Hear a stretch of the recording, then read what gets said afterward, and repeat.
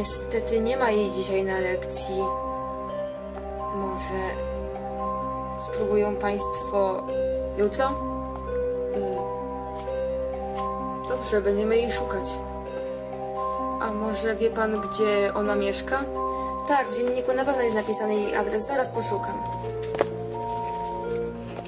Y, Ulica Różana 31 przez 22. Dobrze, dziękujemy. My już będziemy musieli się zbierać. Do widzenia.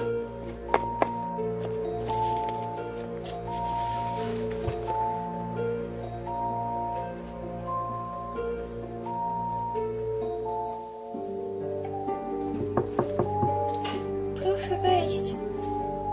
Dzień dobry, komenda policji. Czy zostaliśmy Lunę? Lunę Shorthair. Ale rzeczywiście. Luna, Luna, Luna, chodź na dół.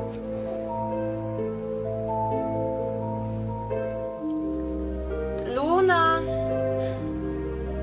Już idę.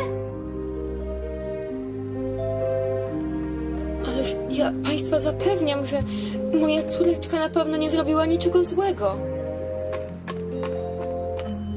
O, Luna, wreszcie jesteś. Wytłumacz panom, że ty nie zrobiłaś nic złego. Przykro mi, ale musimy panią przesłuchać. Pojedzie pani z nami na komendę. Ale o co chodzi, proszę pana? Wytłumaczymy wszystko na komendzie. Córciu, musisz jechać z panami. Strasznie się boję. Ja też. Jedź teraz. Ale przecież wiesz, że nie zrobiłaś niczego złego. To musi być jakaś pomyłka. Wiem, ale jeśli mi nie uwierzą, nie wiem. Bardzo się Jedź. boję, mamo. Luna...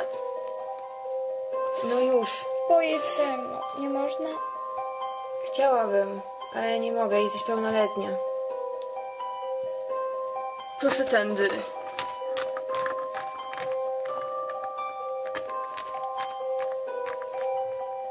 Proszę, siadaj tu.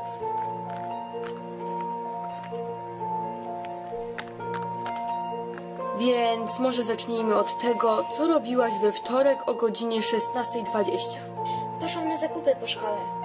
Czy byłaś może w sklepach Box i BNC, E, tak, byłam.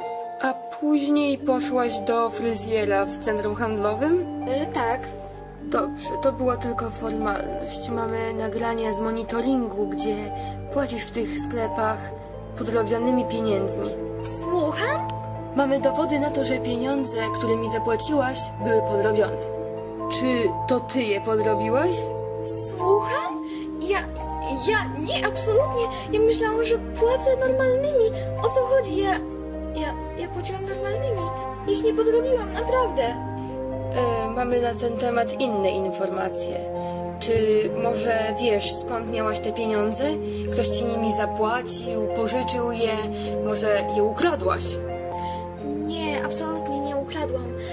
Pożyczył mi pieniądze kolega ze szkoły i ja miałam mu je oddać. No i oddałam na razie połowę. I, i, i to tyle. Ja myślałam, że są prawdziwe. Wyglądały na wiarygodne. Jak się nazywał ten twój kolega ze szkoły?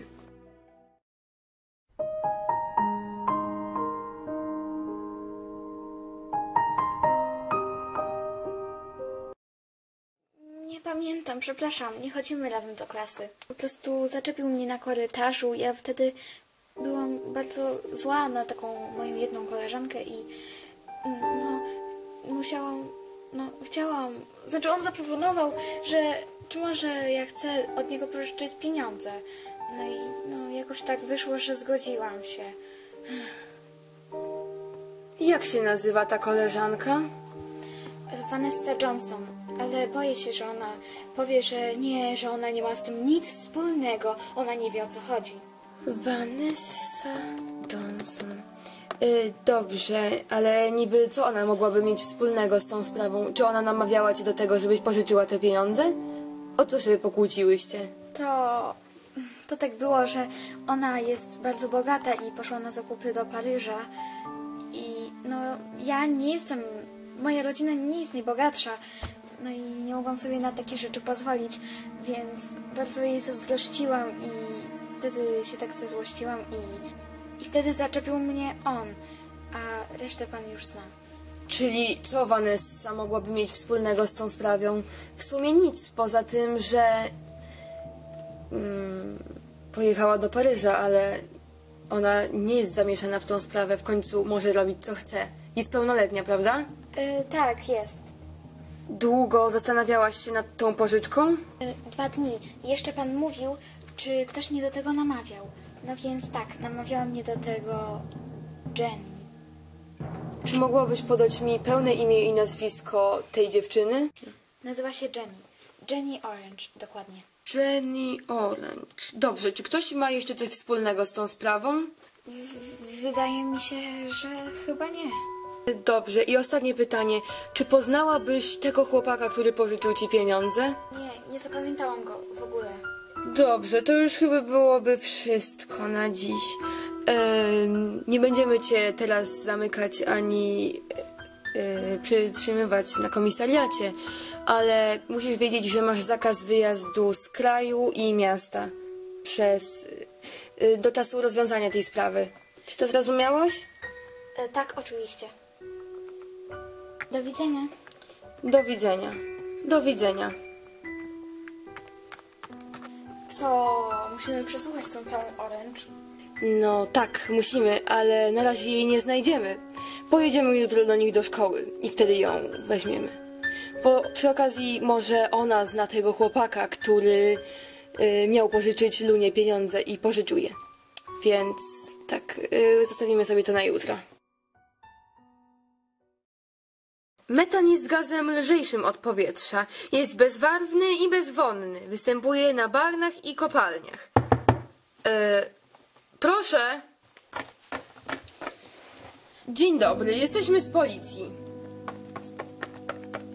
Szukamy niejakiej Jenny Orange. Czy jest tutaj? E, Jenny?